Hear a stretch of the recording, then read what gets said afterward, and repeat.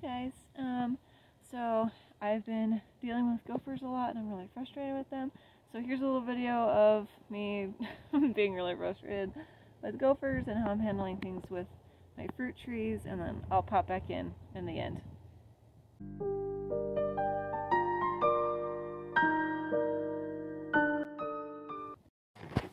See their mounds are coming up in here and see that onion?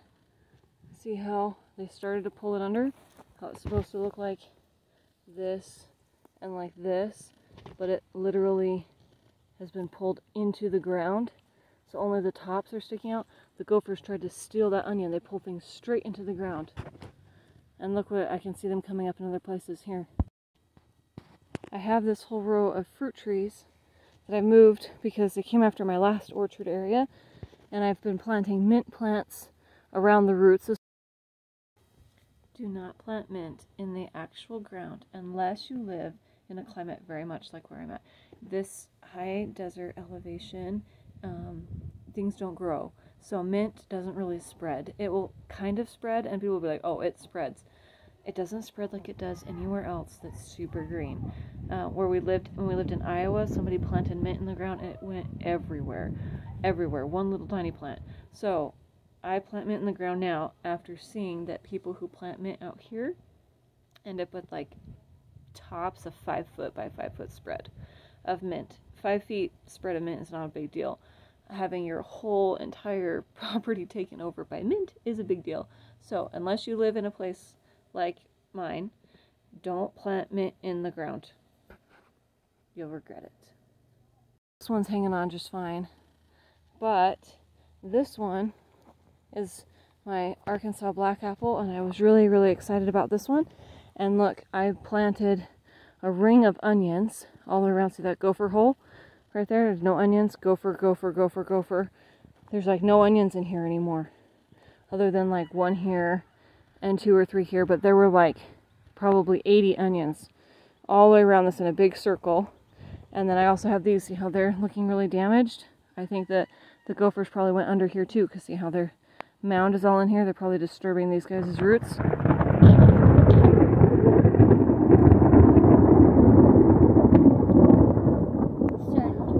Sounds like I need to make quick work. Okay, um, and see how my tree here has some leaves where it's yellowing, where and damn it, like that is stressed, where it has been growing just fine. It doesn't have any. Whoop. Where it doesn't have any issues. This is my Arkansas black apple. This is one I'm really excited about. And look, see the mounds right here, right here. I've got my mint, but they just went around the mint. They took out all the onions and they're coming right here, right at the roots. It is starting to rain, so I'm going to dig this up and I'll show you in a second after we have it out of the ground.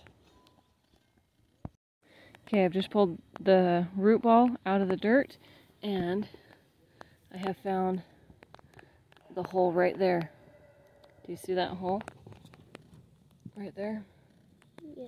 That is the hole the gophers have been coming at, and they've been eating out the bottom of the roots of this tree. Where this tree should have a lot bigger root ball, it doesn't have that big of a root ball anymore. So they have come right at it. They went right around my mint and right at the base of the roots right here after this tree. So looks like I'm going to pot it up to save it from getting eaten to death.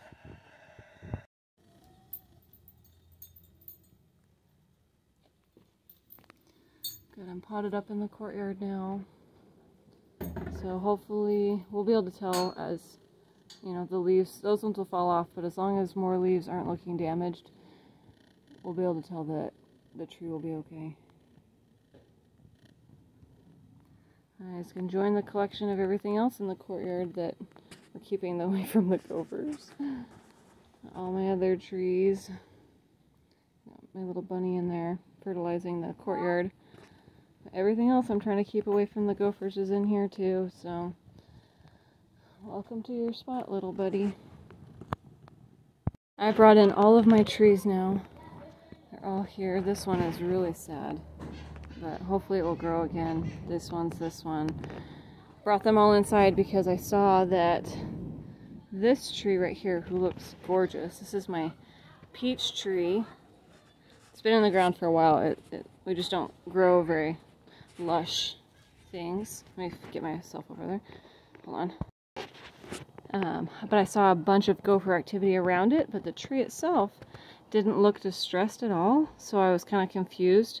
But I thought, you know what? All my other trees are having gopher issues, and there's if there's signs of gophers, I'm just going to think trust that there is a problem. And I pulled it out, and this is a big pot that it's in right now. As you can see, like, I don't know. It's probably a two foot tall. Uh, it's probably, yeah, it's probably 18 inches at least. But it had a root ball that was smaller than this pot on it. You know, like an eight inch. It was shorter than eight inches. It just had this tiny root ball left. Because the gophers come and they eat up the roots until there's just nothing left. They kind of have a pancake left on top. So it only had a root ball of about this much on it to here. So I potted up in this big pot. It looks gorgeous. It'll look really pretty potted here for a while, but that's why you gotta trust when you see gopher holes around your trees that there's really a gopher problem and not that everything's fine.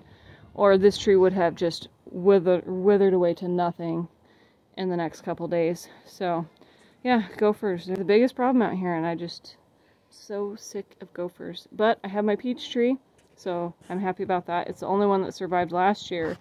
All of the gopher attacks, it took out 30 trees. This peach tree survived, and so now he survives again. it's a lucky peach tree. So yeah, the gophers have like destroyed everything. It's so frustrating. But I pulled up a lot of stuff, and it's actually doing a lot better. Everything is coming back but it has to be potted, and that's really frustrating. And so I have done a lot of research and I've looked at how people in other places handle this problem, and I've talked with um, some people locally have already told me that I should um, bury fencing around the trees, and I was like, well, I think that's a little ridiculous. It's probably fine. I've lost too many trees to too many gophers. That's my next move. Um, if I do end up doing that, I will, um, I'll like document it and I'll show you guys how to do it. But for right now, I'll just kind of explain because I think it's really interesting. And if you are dealing with gophers, it's like, as far as I have learned, it's the only way to prevent it. You essentially you dig a hole for the tree, and I would dig like oh, it's so hard because the ground is so rough. I would dig like a four foot square hole and deep about as far as I could as well that way. And then you line it with like chicken wire, which is like those little circle fencing. It's like really soft, but it's small. It doesn't really need to be super strong. And then you essentially make a whole box in that hole that you dug with the fencing. So the fence lines your square hole. And then the fencing needs to come up out the sides above the ground so that the gophers can't just walk on top of it and then go down where the tree is. So it's got a barrier up the sides as well. So I would also probably put T-posts in the corner points and then um, straight down so that the fencing stays put and then hook it to it above the ground so that the fencing stands up above the ground. I'm not sure how high up it would really need to be. I need to do that research and look and see how can gophers like climb because I don't think so. But I'm assuming you just need enough to keep them from getting over it. So you'd probably want to do like a solid foot above just because then it's not as big of a trip hazard. If it's really small, you might not see it and you might just it might take you out and that would be very painful to land on.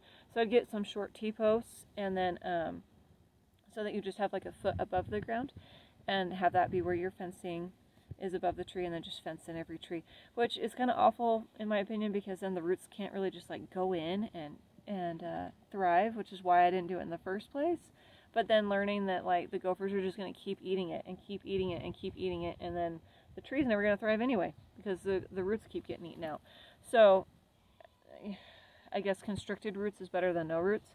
Um, and I'm assuming that if you did it four feet square like that, it would be a big enough space that the root ball wouldn't really be under a lot of stress until it was much bigger. And at that point, it has very well established roots. So that's the plan I'm planning. So if you're in this boat and you are so fed up with gophers, I'm sorry, but it's so frustrating. So I understand where you're coming from. Try it. That's what everybody out here says to do is to bury fencing. They don't, they've never said that big of a hole. I'm just in my brain, I'm thinking that's probably the right size to have so that the roots actually have a good amount of space to grow. Um, I know a lot of people out here also line all of their grow beds with chicken wire like that on the bottom.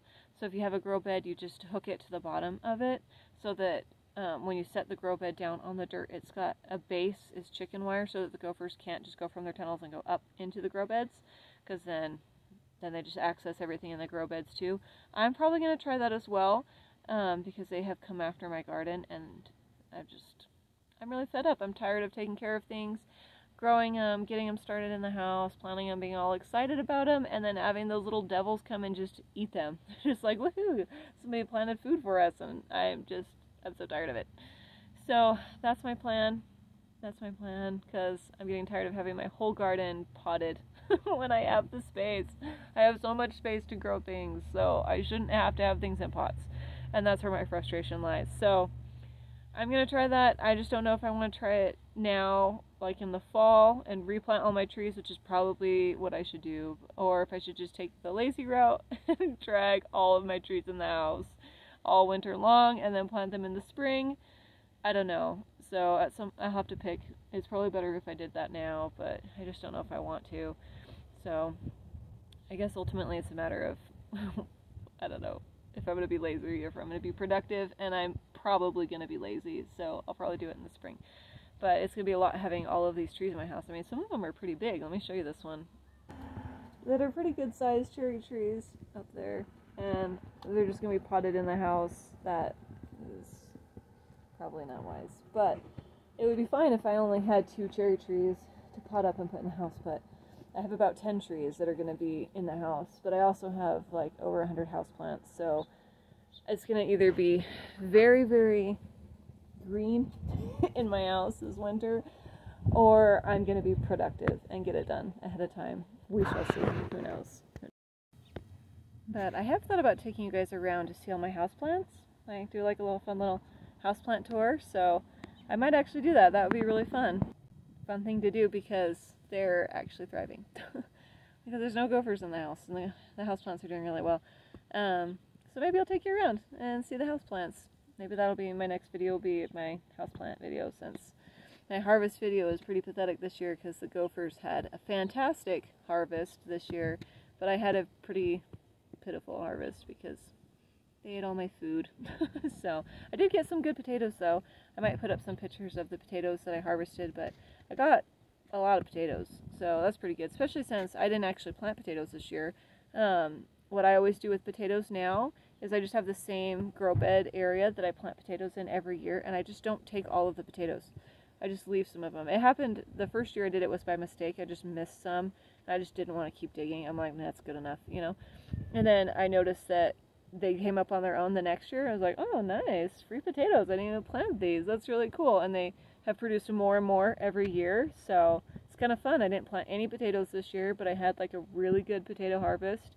And the gophers still came, but because they kind of came up when they felt like because they were already in the ground so they came up when that potato was ready to come up um, they're staggered enough and so i still got a lot of potatoes even though the gophers took some potatoes and and you know it still can be a pitiful harvest for some people who actually are trying to grow like a ton of ton but that's all the potatoes we eat in a year like i've had to be creative to use all of those potatoes because we are not a potato family but i like potatoes because i don't know it's kind of fun it's actually super fun to dig for potatoes. I don't know why. It's just my kids love it. I love it. it's just kind of fun. So I grow potatoes so that we can dig for potatoes. And I grow pretty colored potatoes because I like digging for pretty colored potatoes. So that's kind of what I have. And I don't see the point in growing more than I actually need of potatoes because no one else on the farm can eat it. The fruit trees, I've got a ton of fruit trees. And I'm cool with that because this year all of our apples and pears fell off the tree because we had such a a heat wave come through and everything hit the ground. Like very small fruit. It was going to be a really good harvest. All of it hit the ground. It was too hot. So I'm fine with having excess in the fruit because then if things like that happen and I have a fourth of the tree, this time I took all of it. The whole tree's empty. But if I have like a chunk of the tree left, then if I have plenty of trees, I still get a good harvest, you know. And then if I have way too many, I've got a big bumper crop. All of my livestock can eat the fruit. So it just saves me money on feed. So it's kind of a win-win. So fruit, I'm fine, but potatoes and everything else that we actually eat, eat um, in the kitchen that the animals can't eat, I like to make sure that I have the right amount for whatever it is that we actually are eating. So I don't need a thousand potatoes, you know, but a couple hundred potatoes, that's plenty, plenty for us for the year. Um, and then I just don't harvest all of them, so I never have to have potatoes to plant again the next year, they're already in the ground, ready. So it's kind of like the lazy man's plan for farming.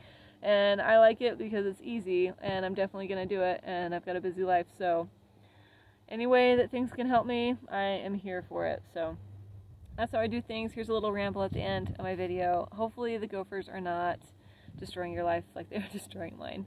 And you have gotten some awesome fruit. Maybe you've gotten a bumper crop. I would, oh, I hope that there are people this year that got a bumper crop because I did not and it's kind of sad. But if other people did, I'm really excited because it's so, it's so nice to grow your own food and to have things that you worked hard for come into the kitchen and you can just eat those things. You can feed them to the kids. You can preserve them. Like it's just, it's really rewarding and really magical. So hopefully some of you guys had magic, even though I didn't this year.